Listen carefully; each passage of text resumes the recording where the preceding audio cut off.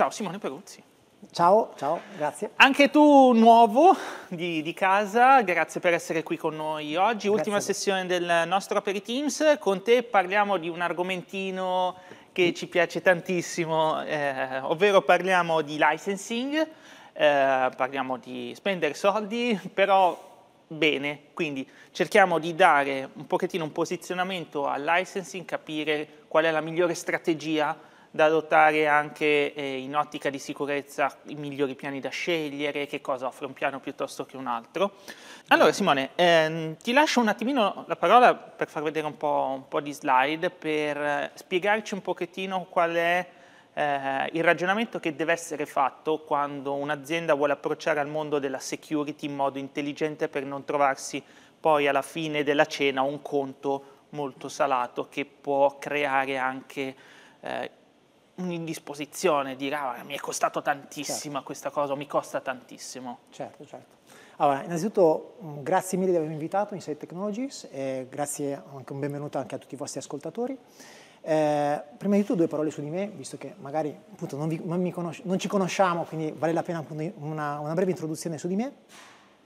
Eh, io sono Simone Peruzzi e fondamentalmente lavoro da anni nell'ambito IT, ai tempi quando ancora i tempi cloud e hybrid computer erano ancora di là da venire, proprio concetti assolutamente lontani dalla nostra realtà. E sono in Microsoft dal 2006, quindi da tanti anni. Eh, ho coperto vari, vari, ruoli in Microsoft, mh, prettamente in ambito tecnologico e management. Diciamo che l'area di sicurezza l'ho sempre toccata fin dall'inizio, poi negli ultimi anni è evoluta e, ed è stata un'escalation continua, no? Certo. Lo vediamo anche tutti i giorni. Quindi al momento sono Enterprise Security Executive in Microsoft, che vuole dire fondamentalmente seguire tutto lo spettro della sicurezza, compliance e identity per tutti i workload, quindi per tutte le tipologie di uh, workload che un'azienda si trova a affrontare. Quindi la classica interfaccia del CISO, del CIO, dei BDM, C-level. Quindi questo è un po' il mio ruolo.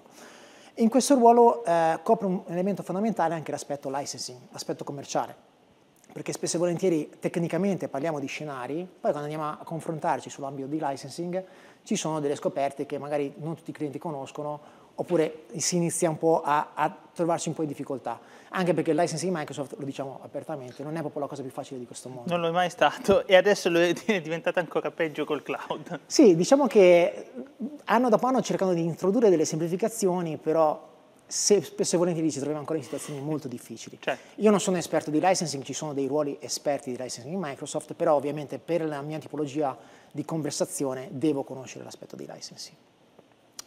Detto questo, eh, mi vorrei dare prettamente due, giusto due parole sulla, sulla, strategia che copriamo in ambito cyber security. I miei colleghi precedentemente vi hanno dato un po' un aspetto, magari anche di singoli workload della, della strategia Microsoft sulla sicurezza. A mio aspetto un punto molto importante è come copriamo l'ambiente di, di, security strategy in a nutshell. L'ambiente di security strategy in a nutshell fondamentalmente è che al di là di tutti gli investimenti che facciamo, dei quadranti di Gartner, di tantissime belle cose che diciamo, alla fine la nostra strategia si riassume in una strategia che noi chiamiamo in 3D, diplomacy, disruption e defense. Fondamentalmente cerchiamo di lavorare con i governi di tutte le nazioni per fare in modo di uh, governare questo cyberspace e in primis deve essere il governo, la nazione, stessa a, a, dare delle regole ben precise sull'ambito cyberspace, noi cerchiamo di aiutarli, cerchiamo di convergere su accordi internazionali, eh, esiste un Government Security Program ad esempio che è firmato da vari governi eh, worldwide che permette di, avere, di, dare accesso al codice Microsoft. Certo. Così come in ambito disruption cerchiamo di interrompere tutte quelle catene di attacchi che sentiamo tutti i giorni, le classiche botnet che vengono utilizzate per vari attacchi, malware a non finire. E infine l'ambito di defense che fondamentalmente ha due, ha due anime. L'ambito diciamo un po' più consulenziale dove cerchiamo di aiutare i clienti a configurare i, nostri, i prodotti secondo le best practice. Tenete conto che fatte 100 i clienti che acquistano prodotti nostri, magari 95 non li configurano correttamente, o 90 quindi è fondamentale per noi aiutare i clienti a configurare correttamente i prodotti. E poi infine la parte dei prodotti, la parte vera e propria della, dei, delle soluzioni di security Microsoft. E su questo diciamo che quello che possiamo dire è che in una, un approccio standard Zero Trust che ormai è abbastanza sdoganato sul mercato, quindi quello sui sei pilastri dello Zero Trust, eh, offriamo come Microsoft un approccio end-to-end. Però ci siamo resi conto che non è abbastanza l'approccio end-to-end e quindi spesso e volentieri quello che cerchiamo di fare è di eh, fare in modo che questo approccio vada un pochino più in profondità. Cioè ci rendiamo conto che i rischi di sicurezza si mischiano con altri rischi di un'azienda classica. E quindi l'approccio end-to-end non è più sufficiente, occorre un approccio più profondo che ci permetta da un lato di dare un'esperienza utenza semplice, più semplice possibile, dall'altro lato dare la possibilità di correlare questi vari segnali e andare a proteggere un po' più in profondità, quindi l'ambito di compliance, l'ambito di identità, l'ambito di endpoint management, ne avete parlato anche oggi, l'ambito di privacy, un altro certo. elemento che copriamo molto è l'ambito di privacy che oggi per, per motivi di tempo non riusciamo a coprire e infine l'ambito multi-cloud, dove ci stiamo muovendo attivamente. Quindi in quest'ottica il, il, panorama Microsoft sulla, sulla, base delle soluzioni è fondamentalmente ricollocabile in tre macro aree. L'ambito di SIEM, quindi l'ambito di Sentinel, l'ambito di SIEM multi-cloud, l'ambito di XDR che si ricollega all'ambito Defender 365 e all'ambito Defender for Cloud. E proprio in quest'ambito andrei, vi farei, vorrei far vedere un po' come funziona il licensing o l'aspetto commerciale sull'ambiente di Sentinel. Così lo vediamo anche un po', un po meglio, un po' certo. più in dettaglio. Ora, al di là dell'aspetto tecnologico che appunto, ripeto, possiamo, potete approfondirlo eh, anche autonomamente, anche i singoli ascoltatori possono approfondirlo autonomamente con le tonnellate di informazioni che abbiamo all'interno della nostra, nostra database online, eh, quello che è importante è l'aspetto, diciamo, l'aspetto commerciale, come viene pagato Sentinel. Sentinel fondamentalmente viene pagato per ingestion gigabyte al giorno, quindi quanti gigabyte al giorno raccoglie la piattaforma Sentinel. Questo, punto, questo elemento è fondamentale perché se vedete in questa slide fondamentalmente raccogliamo quattro elementi fondamentali. L'ambito di data ingestion, quindi servizio Sentinel nudo e crudo, che può essere fatturato in una modalità pay as you go o in modalità commitment years, e adesso in breve vi vado a vedere che cosa vuol dire. Certo. Il servizio Azure Monitor, anche questo per gigabyte al giorno, che sarebbe fondamentalmente il motore che sta dietro al servizio Microsoft Sentinel.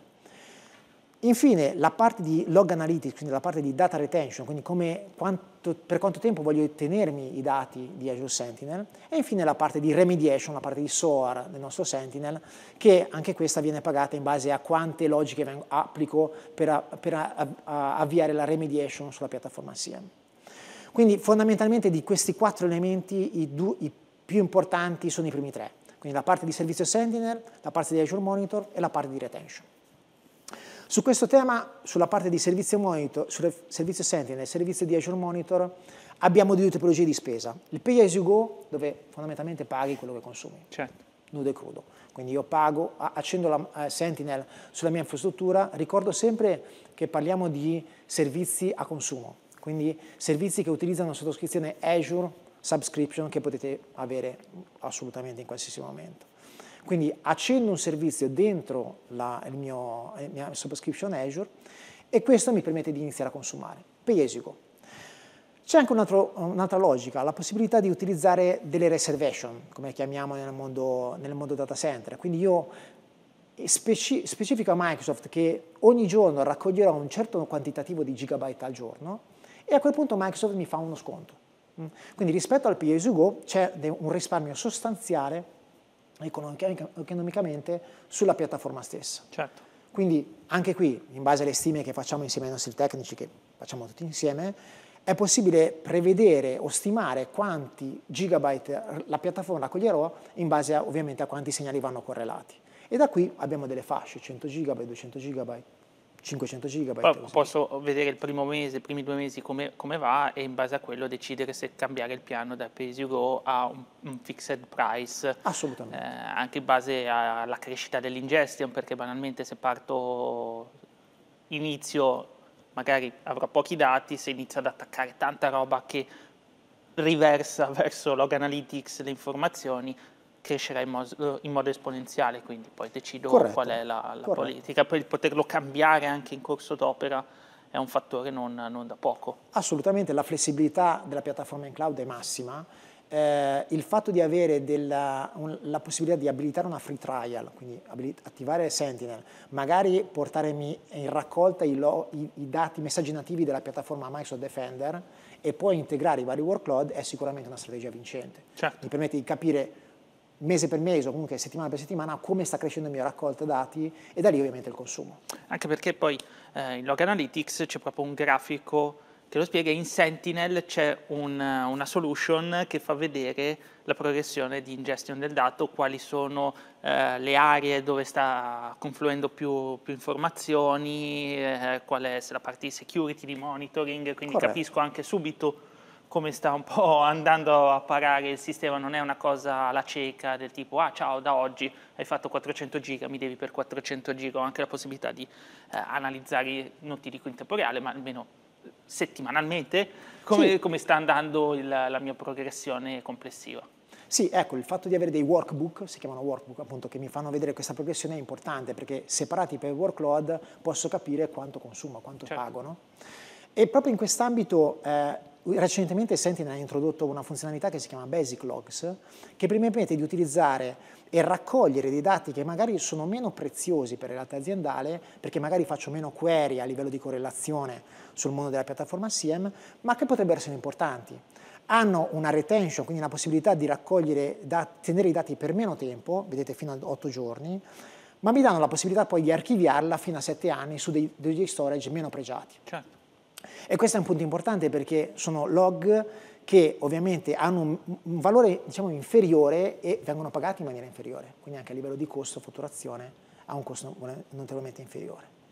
Oltre a questo ci sono anche dei, dei free data source, quindi sap sappiamo bene che Sentinel può raccogliere i messaggi nativi della piattaforma Defender fondamentalmente for free. Certo. E questo lo vedete anche nel workbook che citavi poc'anzi. Anzi, mi pare che forse abbiamo anche uno screenshot o una demo dove facciamo vedere la, la, possibilità di capire come... Dopo poterlo... lo mostriamo, lo, lo, preparo, ma sì, Perfetto, eh, lo, lo, facciamo, lo, facciamo, vedere. Ottimo, ottimo.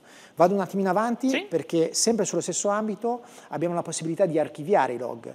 Quindi l'archiviazione è un punto importante perché tenete conto che il, i log all'interno della piattaforma Sentinel possono essere tenuti fino a due anni. Da lì in poi posso utilizzare una piattaforma Archived Logs all'interno di Sentinel che ha sicuramente un costo inferiore e mi permette di tenere i dati sulla piattaforma Sentinel fino a sette anni. Quindi anche questa è una flessibilità notevole. Un punto importante, sempre dal punto di vista commerciale o diciamo risparmio economico, è il fatto che per i clienti che hanno già un tenant con abilitato uno dei piani che vedete qua in, in, sullo schermo, quindi un piano E5, un piano A5, un piano F5, è possibile utilizzare, è possibile automaticamente farci riconoscere per ogni utente fino a 5 MB al giorno per utente su Sentinel. E questo sembrano poco, 5 MB al giorno per utente, ma su una scala di 2-3 mila utenti iniziano ad essere dei, dei, gigabyte al giorno gratuiti che la piattaforma Sentinel può raccogliere. Certo. certo. E questo, anche questo nell'economia di scala della piattaforma. Anche perché abbiamo detto che eh, il cloud è diventato un facilitatore per tutto e tutti, la piccola azienda che magari non ha un grosso volume di ingestion e vuole portarsi eh, i dati principali dentro lo può fare in modo semplice, e, e, perché poi il concetto del SIEM sotto un certo punto di vista non è solo la remediation, il controllo, il wording, ma è poter memorizzare il dato nel lungo periodo. Banalmente il GDPR dice che io devo tenere eh, traccia di quello che succede all'interno dei certo. miei documenti per sei mesi, Log Analytics mi può memorizzare i dati per sei mesi, se qualcuno mi dice chi ha, chi ha, cambiato questo file in Excel eh, tre mesi fa, io faccio una query e ho l'elenco di Corretto. tutte le persone che hanno fatto la modifica in quell'arco temporale senza Corretto. dover stare a eh, tirarmi scemo per usare no, certo. proprio un modo molto classico. E potermi archiviare anche questo dato per, fino a sette anni su certo. uno storage meno pregiato ma che comunque mi, mi, dà la possibilità di fare una query sulla piattaforma. Uh, Facciamo vedere al volo quello che, che dicevi? Sì. Allora, passiamo sulla, sulla, mia macchina che almeno lo mostriamo. Questa è la, il workbooks all'interno di, di, Sentinel.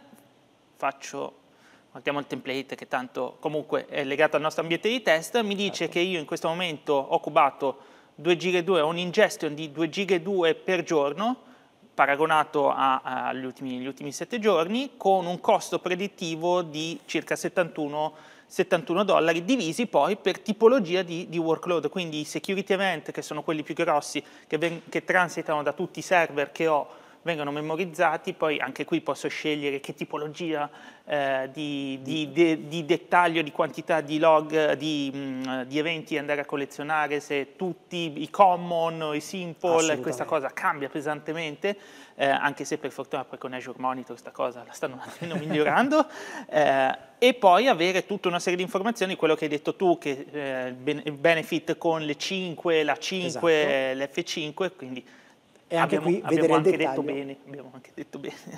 Esatto, e anche qui vedere il dettaglio proprio della, del beneficio che vi portate dietro col tenant. Di, esatto, perché vengono spiegate tutte le varie ottimizzazioni che possono essere fatte, quanto sarebbe l'ingestion, eventualmente il costo, poi chiaramente questo è un ambiente demo. Ecco, l'importante eh, è, automa- tutto automatico, esatto. quindi questo collegamento tra le 5, quindi il cliente che ha piano Microsoft 365 e 5, e se, piattaforma Sentinel è automatico il certo. riconoscimento. Quindi eh, molto, molto semplice.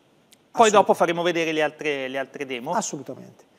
Eh, quindi giusto per anche riassumere eh, la, quello che abbiamo appena detto sulla piattaforma Sentinel.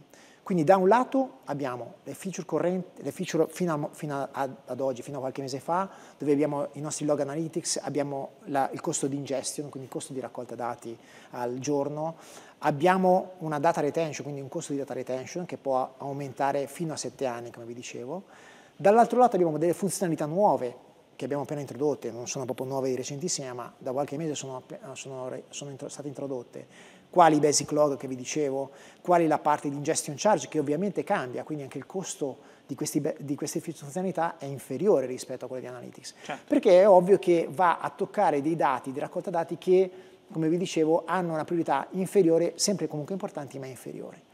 E infine la parte di data archive, anche questa è importante, anche questo è importante perché mi permette di andare a vedere come posso archiviare as a wall questi dati per interrogazioni future, come dicevi tu, fino a sette anni. Certo, che poi questa cosa del, della data archive sta prendendo un pochettino piede nel mondo, nel mondo Azure, eh, sì. lo, lo, stiamo vedendo con la parte di archive dei, dei blob, dei file, perché banalmente uno dice io ho il mio backup, il backup Cuba, se lo sposto in un repository di archiving, certo. ha, un, ha, un, costo notevolmente più basso. Eh, faccio un esempio uh, stupido di un prodotto, Vim eh, Backup per, per, Microsoft 365 mm -hmm. permette di salvare su un blob storage Azure, ma poi supporta anche l'archive di Azure per la long term retention, quindi dire tutto quello che è molto vecchio mi serve, lo tengo lì parcheggiato, ma ha un costo molto certo. tranquillo, molto soft, Chiaro. perché il problema del cloud è che la mole di dati cresce eh, in modo incontrollato e quindi poter avere dei dei, degli storage a bassissimo costo che magari non interrogherò mai sono certo. un paracadute ma che non mi va a impattare certo. sull'economia se pensiamo a un ambiente on premises eh, cioè non è che posso crearmi ambienti paracadute facilmente, comunque sempre devo comprare dei dischi e questi dischi in un NAS o in una SAN li dovrò mettere sì. quel pezzo lì che costa e poi lo devo mantenere. Perché la volta che mi serve si scassa e non accedo neanche più al dato. Mi hai ricordato gli scenari, ritornando alla mia introduzione iniziale, quando parlavamo di ambiente solamente on-premise, dove il cliente si doveva recuperare delle soluzioni di terze parti per andare a fare archiving con dei costi esagerati, costi di integrazione, certo. complessità enormi. Quindi in questo caso il cloud è veramente un beneficio. Soluzioni di archiving dentro la stessa soluzione. Certo. E a un costo inferiore ovviamente. Certo, certo. Ottimo. Ottimo. Il secondo punto che volevo portare all'attenzione oggi è, e vi ho portato proprio degli scenari, è l'ambiente Microsoft 365. Quindi dicevamo eh, uno degli altri, l'altro pilastro della nostra strategia Microsoft, vi ricordate tre pilastri, CM Microsoft Sentinel, la nostra piattaforma XDR che ci permette di andare un po' in profondità sui segnali, che è composta da Microsoft 365 Defender e da Microsoft Defender for Cloud. Sulla parte di Microsoft 365 Defender Ovviamente non ci spendo tempo perché sicuramente ne, ne, avete già sentito parlare, ve ne hanno parlato anche i miei colleghi oggi. La cosa secondo me importante prima di tutto è un chiarimento sulla parte EDR, protezione EDR. Perché? Perché anche qua dal punto di vista commerciale a partire da gennaio abbiamo introdotto delle novità. Fondamentalmente abbiamo dato modo a tutti i nostri clienti che avevano già un piano Microsoft 365 e 3 di usufruire di una protezione pre-breach sugli endpoint che si chiama Microsoft Defender for Endpoint piano 1. Certo. Anche qui, quindi Microsoft Defender for Endpoint, quindi la protezione EDR per gli endpoint, Microsoft, non Microsoft, Client, Linux, macOS, mobile, soprattutto l'ambito mobile, è stata splittata fondamentalmente in due, due, piani, piano 1 e piano 2. Il piano 2 è quello che vedete qua sullo schermo, è il full EDR, no? la nostra piattaforma full EDR per antonomasia, come vi dicevo, across platform. Il piano 1, a differenza del piano 2, lo vedete evidenziato sullo schermo, ha dei punti fondamentalmente evidenziati che sono la parte di pre-breach, quindi l'attack surface reduction e la next generation protection. Quindi un'attività di alerting ma non di detection e non di response, mm, quindi a differenza del PUDR. E vi ho, anche, vi ho portato anche una, una distinzione delle funzionalità, anche questo è importante, quindi capire quali sono le funzionalità del piano P1 e piano P2. E questo è un punto particolarmente importante perché per i clienti che hanno già il piano Microsoft 5.3 fondamentalmente hanno già la possibilità di utilizzare Defender for Endpoint piano 1 quindi hanno già la possibilità di abilitare una pre-breach sugli endpoint, anche sui mobile. E anche questo è un punto che ultimamente con i nostri clienti stiamo sottolineando, perché magari un punto mobile sull'EDR è un po' più sottovalutato, ovviamente l'EDR è un costo, e quindi sapere che magari ho già il piano Microsoft 5.3, ho già una piattaforma pre-breach sul mobile, mi fa venire perlomeno una domanda, ma quasi quasi lo provo a abilitare e vedo come funziona, no? Almeno quello. E proprio in quest'ambito vi ho portato eh, una, una, spiegazione di questi temi sulla classica kill chain. Perché questo? Perché quello che cerco di fare anche quando parliamo di aspetto commerciale è capire, ok, sì, mi compro il pacchetto, mi compro la funzionalità, ma cosa va a indirizzare la funzionalità? E quindi in una classica kill chain, che magari avrà già spiegato il mio uh, collega tecnica specialist, Vito che mi ha preceduto, Marco sicuramente che mi ha preceduto, eh, e quindi questa kill chain ovviamente non ve la sto a spiegare, ma do per assodato che mh, mm, i vostri ascoltatori e, e la, la, la, conoscano già e l'abbiano già vista, in questa keychain ci incastriamo le soluzioni Microsoft. Quindi vedete qua le soluzioni in external threats e in internal risk, quindi come sull'esterno possiamo proteggere la keychain e come all'interno ci sia un rischio di internal risk, rischio di magari di condivisione di dati aziendali e come possiamo proteggerli. Certo. Data loss prevention, insider risk management. Perché vi ho fatto vedere questa, questa, questa keychain e questa segmentazione? Perché lì a, a, questo punto possiamo andare a vedere i vari scenari. Quindi supponiamo che siamo in uno scenario dove tu sei il cliente. Sono il cliente.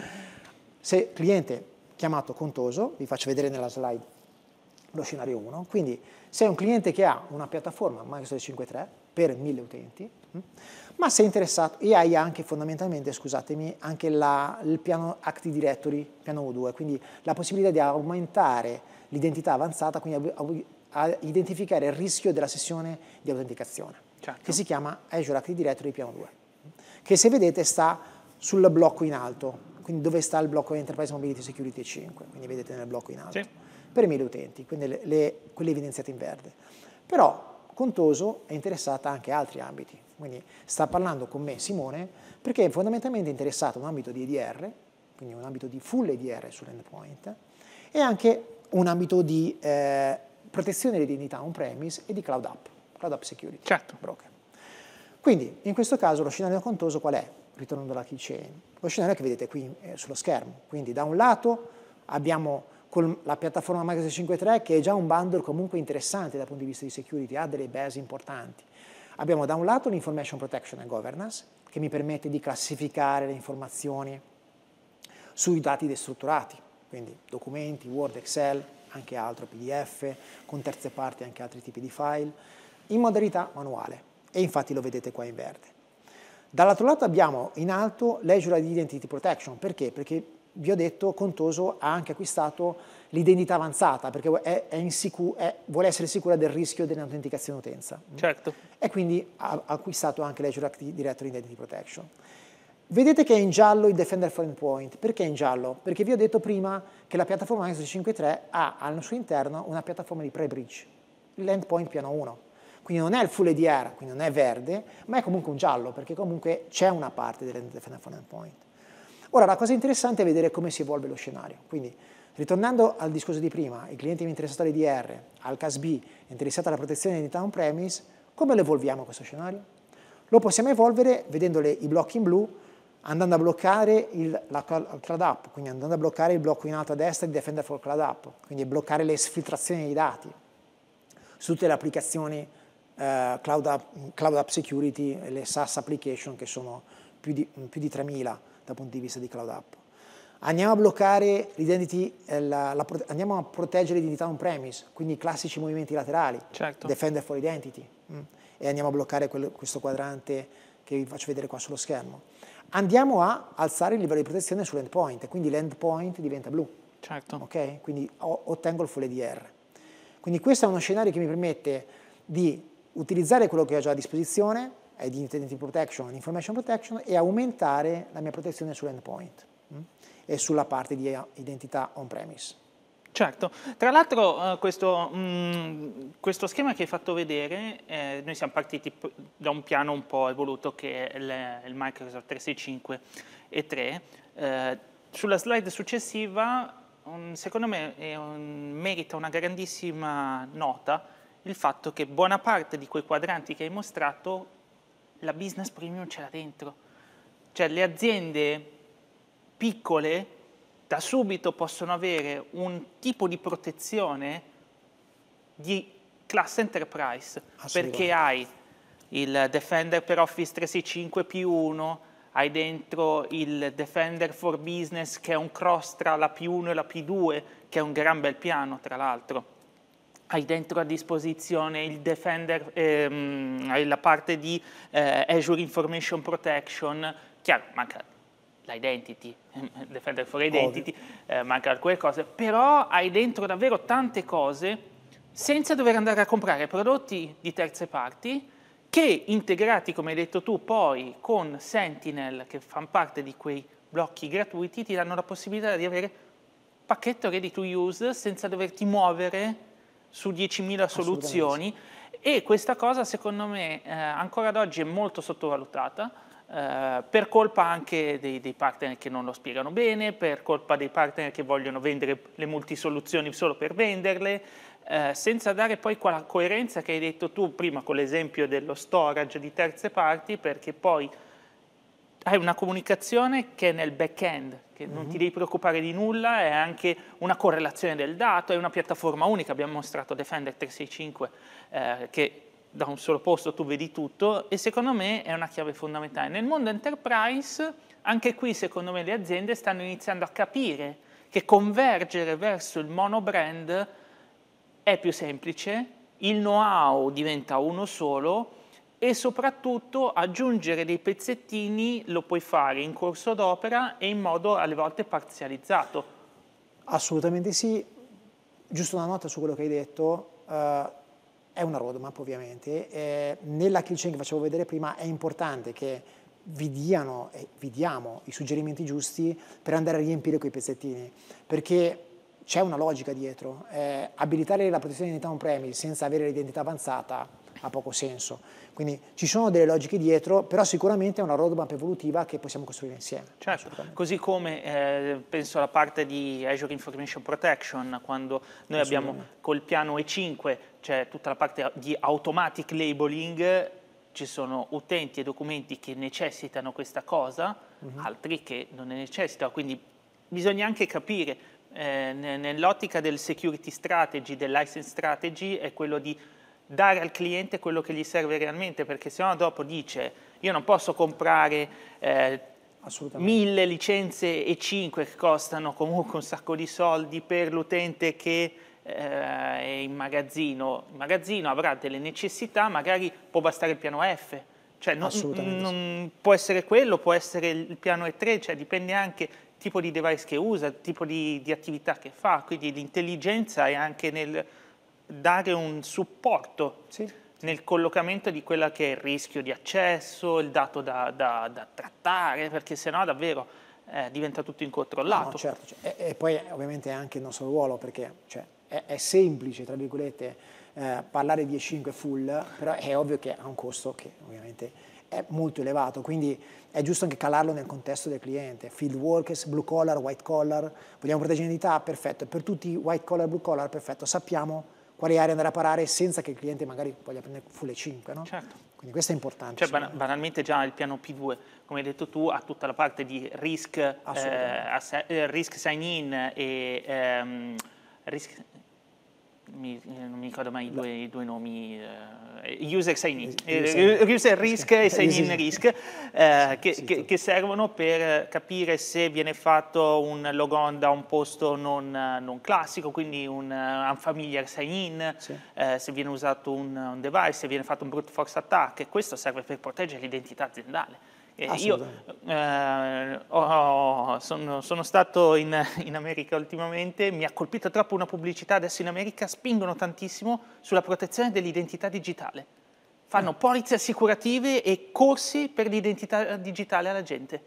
Perché, perché adesso è più importante proteggere l'identità personale digitale che non qualsiasi altra cosa, perché se ti, in America poi il furto d'identità è uno è dei reati più elevati. Certo. Eh, se ti rubano l'identità anche qui in Italia possono fare a nome tuo carte di credito, certo. abbonamenti, certo. qualsiasi cosa e dopo vengono a cercare te, non vengono a cercare qualcun altro. Nell'identità digitale è peggio probabilmente, cioè in un mondo business è critico e alle volte anche peggio perché ti rubano l'identità digitale e entrano nei dati dell'azienda. Assolutamente sì, assolutamente sì. E soprattutto in una cyberspace nessuno sa che sei un cane. esatto. certo. Assolutamente. No, certo. Potresti essere un cane e nessuno lo sa. Eh, vado un pochino più veloce, vado a vedere sì, qualche sì, altro scenario, vai, vai. perché ve l'ho preparato proprio per farvi capire la modularità dell'approccio, non tanto prendo il full 5 ovviamente pensando a budget illimitati. Secondo scenario, sempre contoso, su 1000 utenti, questa volta non hai eh, l'identità avanzata, avanzata, ma sei interessato alla parte di Enterprise Mobility Security e 5, quindi tutto lo stack, identità, protezione di identità on-premise, user risk, sign-in risk, come dicevi tu, la parte di CASB e l'EDR. Quindi in questo caso lo scenario corrente, come, come, dicevo sempre, è sempre il Microsoft 5.3, quindi vedete qui il Defender for Endpoint di piano 1, certo. l'Information Protection, la base di Information Protection manuale, L'interesse in questo caso è a proteggere il full stack, quindi proteggere il triangolo di identità che noi chiamiamo Azure Active Directory Identity Protection, Defender for Cloud App e la parte di Identity On-Prem, Defender for Identity. Perché triangolo delle identità?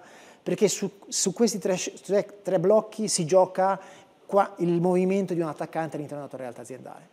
Quindi se malauguratamente Defender for Endpoint non riesce a intercettare o un full EDR di terze parti non riesce a intercettare un attacco, nel momento in cui l'utenza o l'attaccante malevolo all'interno della tua rete aziendale si sposta o si muove o fa delle azioni, puoi intercettarle attraverso Defender for Identity, certo. Azure Active DP2 o Defender for Cloud App.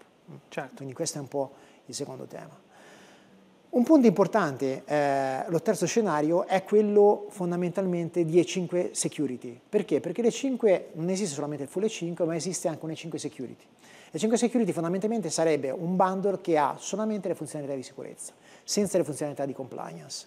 E in questo caso, rispetto allo scenario precedente, abbiamo la parte di Defender for Office, quindi anche la parte di anti-spam, anti-malware, che sarebbe il piano 2, quindi include anche la simulazione degli attacchi, esatto. molto importante quindi simulazione degli attacchi di phishing e quant'altro.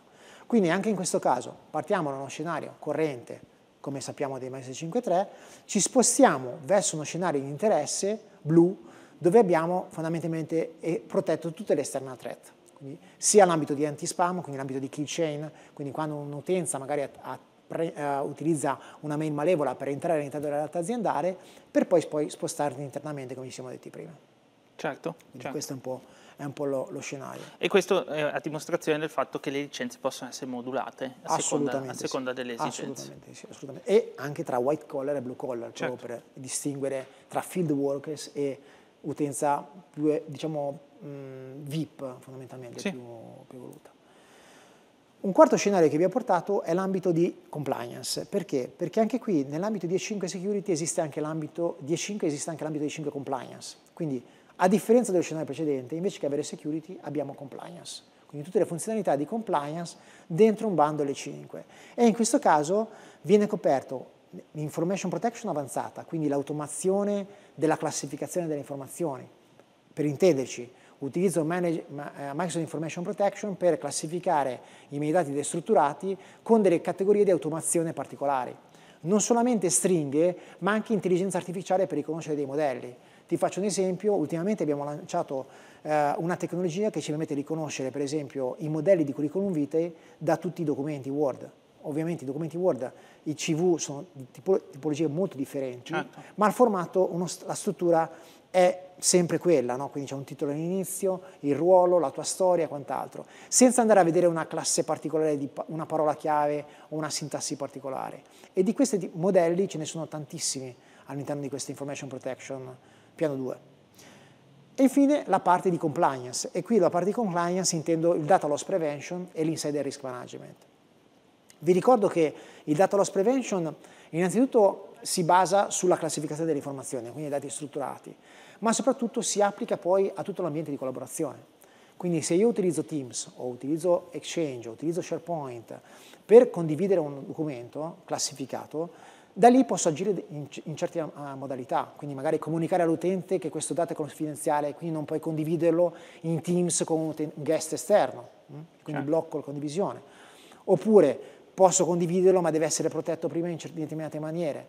Quindi questa data loss prevention mi garantisce da un lato che l'IP aziendale non esca dall'entità aziendale, qualsiasi canale utilizzi, hm? perché segue il documento, la classificazione segue il contenitore, non segue lo supporto dove sta, e dall'altro lato segnala all'IT admin che cosa sta succedendo e quindi alzare delle bandierine rosse. Certo. Certo. Quindi questo è un punto molto importante. Sì, tra l'altro questa cosa della, della, protezione può essere fatta su singole stringhe, su documenti interi, banalmente tu puoi tra chat puoi anche bloccare la condivisione di numeri di carta di credito, eh, che è una cosa non, non, non, banale perché alle volte dice eh, questo è il codice della carta, sì. manda. Sì. Assolutamente sì, e questo è un punto importante perché ovviamente eh, si basa la strategia fondamentale per evitare che in questo mondo così aperto, oramai ibrido, dove si lavora da casa, si lavora da, da qualsiasi disparata posizione, si lavora dall'ufficio, si cerchi di proteggere il più, possibile l'IP aziendale in qualsiasi posto sia, anche su una chiavetta USB, certo. E anche qui, scenario corrente, che oramai conoscete bene nella Microsoft 5.3, e lo scenario futuro dell'area di interesse dove andiamo a identificare l'area di compliance sottostante, ma soprattutto un punto importante che anche qui spesso non viene sottolineato, Microsoft 5 e 5 Compliance si porta dietro anche Cloud App, quindi anche tutte le logiche di Cloud App Security Broker sono all'interno del bundle. Perché? Perché è logico pensare che se io monitoro la mia realtà aziendale per evitare che si, si perdano degli information protection, quindi dei, scusate, degli IP aziendali, è importante che anche gli applicativi che utilizzo siano monitorati. Certo, anche perché Cloud App, eh, Cloud App una cosa bella che fa è multipiattaforma. Assolutamente. Lavora con Box, lavora Giusto. con Dropbox, perché una delle cose che si, si, si, ci si dimentica è che non esiste solo Microsoft e avere una protezione cross per capire dov'è il dato, come è protetto è fondamentale, perché poi è vero c'è Office 365, è bellissimo, però ci sono aziende che hanno anche altri, altre piattaforme per, eh, per eh, memorizzare i dati e, e, non poterli controllare da questo punto di vista sarebbe devastante. Certo. Assolutamente sì, assolutamente sì. Quindi questo è un po' lo scenario, eh, gli scenari che ho provato lato Microsoft 365 Defender. Eh, la stessa, ehm, eh, alcune logiche le possiamo applicare anche sul mondo di Defender for Cloud, quindi il terzo elemento che vi faccio vedere eh, in basso a destra. Quindi come posso proteggere l'ambiente infrastrutturale. Ora per questioni di tempo ovviamente non posso andare in profondità, però ci tenevo anche qui a lasciarvi un, un messaggio importante, al di là dell'aspetto tecnico che potete sicuramente leggere, magari siete già informati sull'aspetto tecnico, non è mio scopo oggi fare il tecnico, anche se eh, la mia route è tecnica, però vi volevo dare un'informazione sull'ambito EDR sui server, sulla piattaforma data center. Perché? Perché da poco, recentemente, eh, Microsoft ha introdotto la possibilità di proteggere i server non più con la licenza, Defender for Endpoint for Server, ma con l'aspetto di consumo Azure, quindi con servizio Azure. Questo mi dà eh, la possibilità, e, e, ha introdotto due piani, questo mi dà la possibilità da un lato di proteggere i server in maniera più eh, olistica, perché? Perché in un ambiente di Defender for Cloud for Server posso proteggere i server sia che siano on-premise, sia che siano in Cloud Azure, sia che siano multi-cloud. Quindi Defender for Cloud for Server mi copre anche dei server che stanno su piattaforma AWS, certo. su piattaforma Google, certo. e ne certo. avete già parlato in passato. E mi dà anche tutta una serie di funzionalità lato server che sull'endpoint client non hanno ragione d'essere. Ad esempio il Vulnerability Assessment. Quindi io posso lanciare N Vulnerability Assessment con una partnership che abbiamo firmato con Qualys su server on-premise, in cloud, multi-cloud. Certo. Questa attività ovviamente in un ambito Defender licenza server non lo posso effettuare.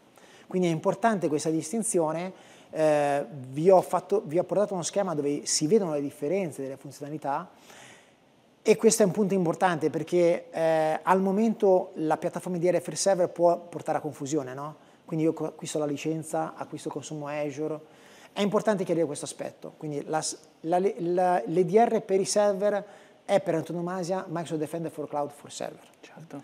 Poi ci sono dei scenari magari ancora legacy o magari di, vecchio, di vecchi enterprise agreement che si portano dietro la licenza, ma attendere quello che ci aspettiamo è portare sempre più questi server protetti in EDR verso un consumo Azure. Anche, anche perché eh, Microsoft Defender for Cloud si porta dietro tante altre cose oltre alla parte sì. di, eh, di defend dell'MDE classico a tutto che tra l'altro ora si integra con Endpoint Manager, quindi sì, esatto. arriva anche la gestione, però appunto hai la parte di patching, hai la parte di vulnerability assessment, hai tutta una serie di logiche che puoi applicare, cioè c'è tanta roba dietro e quindi quei famosi 15 dollari eh, macchina mese sono una cosa che se uno va a unirla a tanti prodotti di vario genere ci vai sopra rispetto alla cifra proposta da Microsoft. Vero, faccio il mio lavoro, hai detto certo proprio la parola giusta, il termine giusto, 15 dollari al mese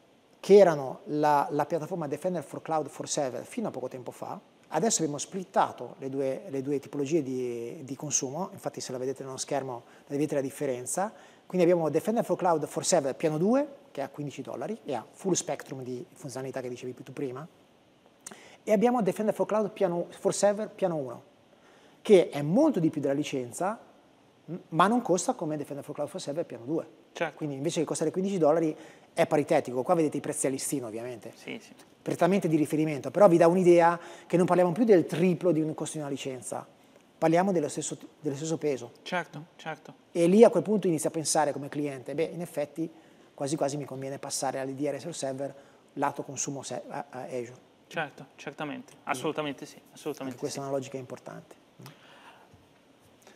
Altre cose veloci che vogliamo aggiungere? Se abbiamo ancora qualche minuto, sì. mi pare di sì. sì. Eh, giusto un ultimo accenno sull'ambito OT-IoT.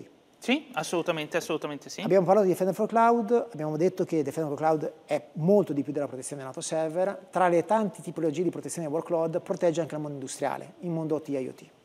Ora, questo è, è un ambito eh, dal punto di vista Microsoft nuovo, ma dal punto di vista della soluzione non è nuovo, perché come sapete abbiamo acquisito una soluzione CyberX due anni fa che faceva solo questo, era anche un leader di mercato su questo, fondamentalmente l'abbiamo integrata, l'abbiamo evoluta e l'abbiamo inserita all'interno dell'ecosistema Defender.